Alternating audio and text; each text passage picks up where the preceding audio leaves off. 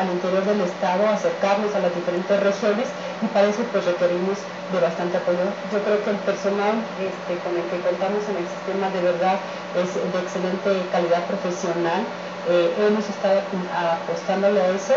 Entonces que pues ojalá que, en breve tengamos realmente una plática, una charla antes del jueves de este exhorto para decir por dónde podemos irnos para mejorar el sistema de Michoacán. Y bueno, también comentar al diputado Plaza, eh, los Plata, que bueno, que el sistema Michoacán de Radio y Televisión siempre tiene las puertas abiertas para todo lo que se desee comentar aquí. De hecho, cubrimos siempre los espacios de, eh, que, de la información que se genera allí en el Congreso. ¿no? Entonces, las puertas siempre están abiertas para todos ellos. Así, así es, y mantenemos como, como línea principal la pluralidad y por supuesto eh, la participación y seguir impulsando no solamente la democratización eh, como entidad descentralizada, sino la importancia de que todos este, nuestros espacios y la ciudadanía realmente avancemos este, en un país más democrático.